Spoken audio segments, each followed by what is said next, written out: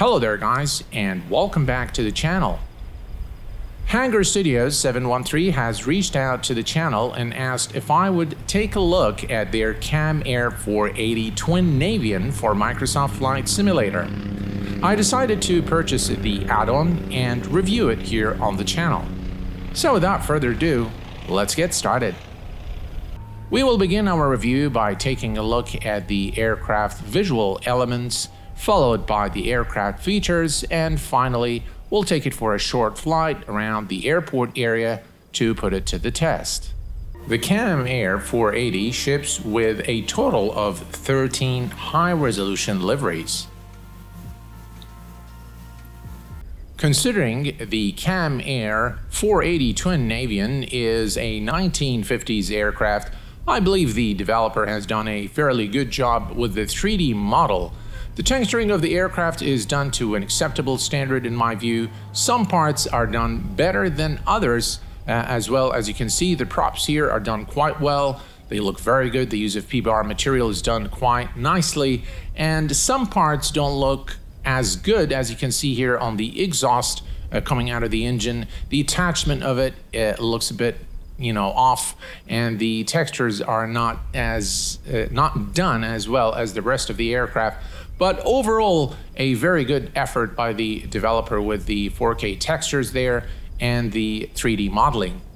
Considering the price point of the aircraft, I believe the developer has done a very good job modeling the uh, 3D cockpit. As you can see here, the beautiful gauges, the reflections, and the panel work is uh, again indicative of an uh, older aircraft. Uh, everything is done really to a high standard uh, from the interior perspective of the uh, you can see all the switches, the gauges, the flight yoke, You can see the rest of the texturing is not done as well as the uh, front panel of the aircraft, but nothing too serious in my view, as uh, this is something you're probably not going to be taking a look at uh, during your flight.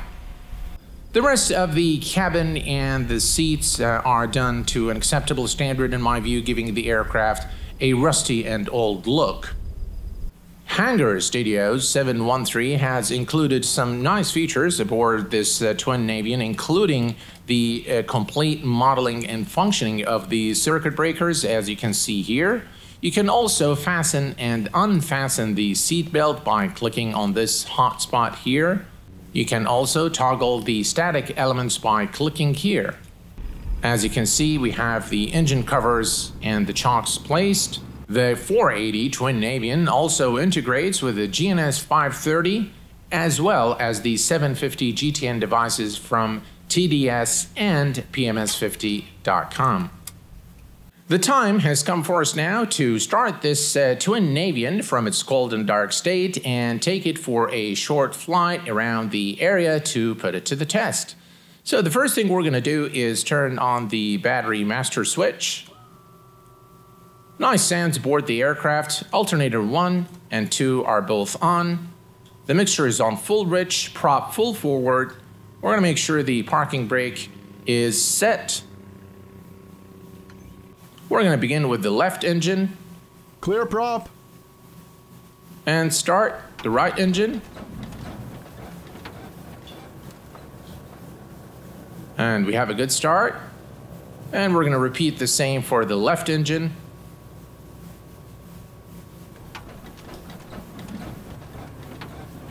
And we have a good start again on the left engine. We're going to go ahead and turn on the avionics.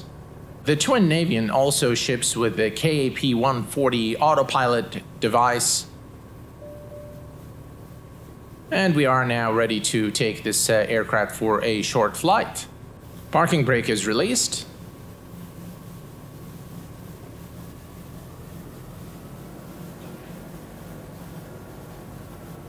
I found controlling the aircraft on the ground to be very pleasant.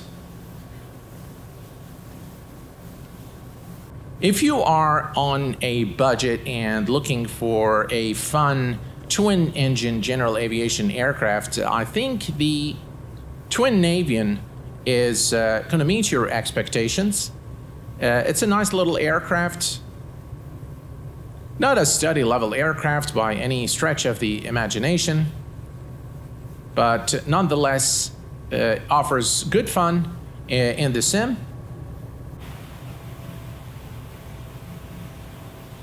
All right, we are approaching the runway. Landing lights are on, strobe lights are on. Flaps are set for departure.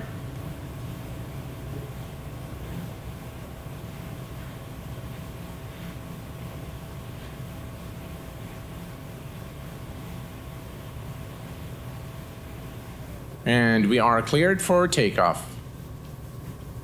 We are at runway 34, uh, ready for departure. The trim has been set, flaps are set. Let's give it full power.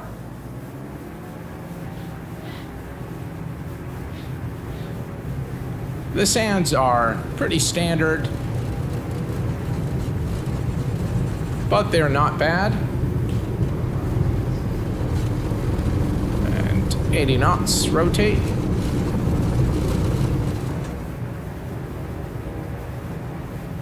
Positive rate, gears going up. Flaps up.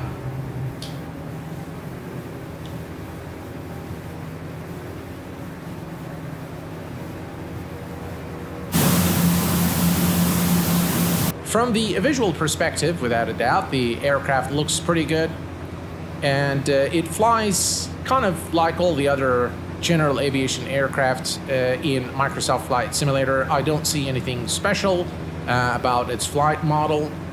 We are going to try to stall it in just a second here, just to put it to the test. But overall, you know, great fun.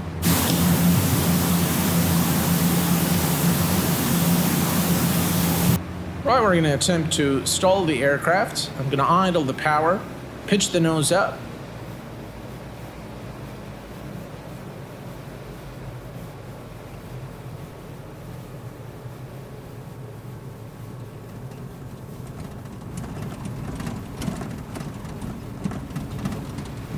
And there's your stall.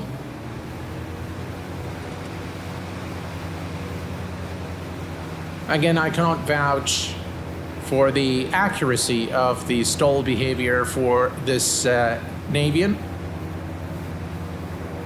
but seems to do what other aircrafts do of the same type and performance.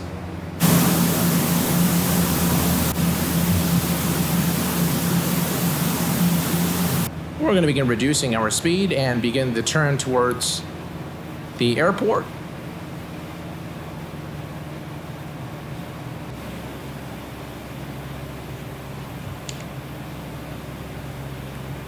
And the air runway is in sight. Landing gear is coming down.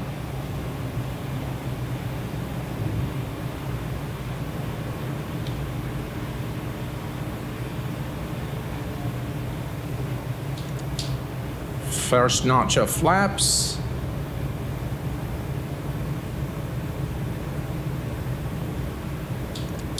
Flaps full.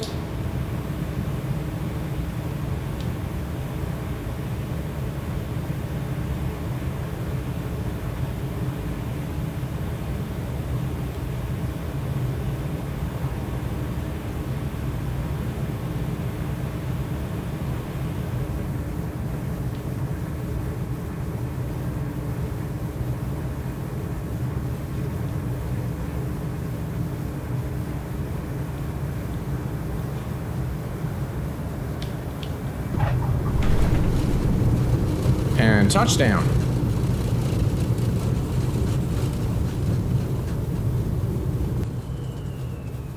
All right, let's go ahead and exit the runway.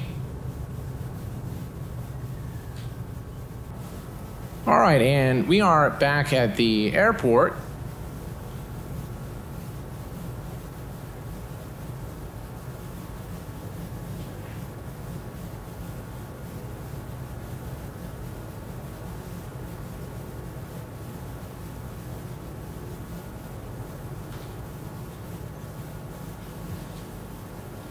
Parking brake is set. Avionics off. Strobe, navigation, beacon lights are off. And we can now put the mixture on idle cutoff props or idle. And we can turn on the alternators off, master battery off, and we're back to the cold and dark state.